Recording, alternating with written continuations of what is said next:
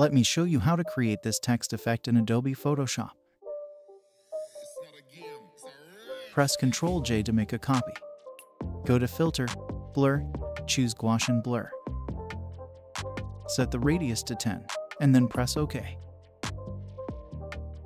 Go to File and press Save As. Let's name it Map and then press Save. The Gaussian blur layer is not needed anymore, so let's delete it. Now choose the Type tool. Write your paragraph. Make sure to delete space between the lines. Change the text color to black. I am using Poppins font. You can download it online for free. Right-click and choose Convert to Smart Object.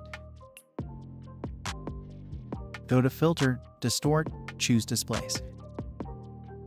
Set the horizontal and vertical scale to 20 and press OK. Choose the map file that we have saved and press Open. Put the image layer on top.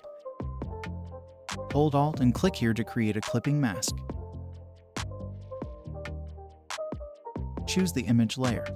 Now go to Adjustment Layer and choose Solid Color. Pick the black color and then press OK. Put this layer in the back.